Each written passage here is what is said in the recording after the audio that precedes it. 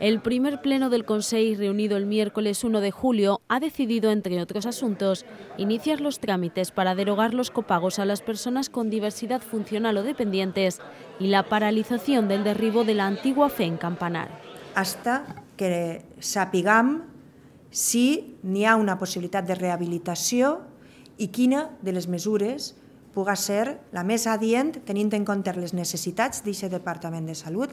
Un día después del acuerdo, la consellera de Sanidad Universal y Salud Pública se ha reunido con la Comisión Cívica por un hospital digno en Campanar. Cargar un informe de manera inmediata para estudiar la situación de todos los pabellones de este complejo y atendiendo a todas las preocupaciones, las recomendaciones que nos han hecho las asociaciones de vecinos, la plataforma, la viabilidad de la antigua fe para darle un uso sanitario.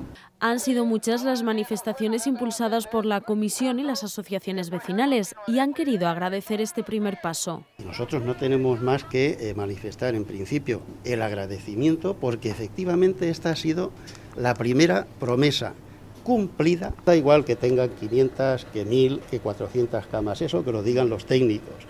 Lo que la comisión no ve lógico es tener que pasar por delante de tres hospitales para ir a parar a la otra punta de la ciudad a eh, conseguir un servicio sanitario que antes teníamos donde debe estar, que és en la pròpia demarcació. Els veïns el que volem és que tota la, la, la part nord eh, de València, de, el servici sanitari, que ara tenim que anar a, a Malilla, doncs podrem, podem tindre així uns servicis sanitaris eh, adients i correctes a les necessitats que, que portem. El pasado mes de junio comenzó el traslado de los laboratorios asistenciales a la Torre A del edificio de la Fe en Malilla, un traslado que de momento continuará este mes de julio tal y como estaba previsto. Todo hay que evaluarlo, todo hay que revisarlo, todo hay que, analizarlo y estudiarlo. Si son cuestiones razonables se continuará hacia adelante, pero si no lo es, habrá que cambiarlo.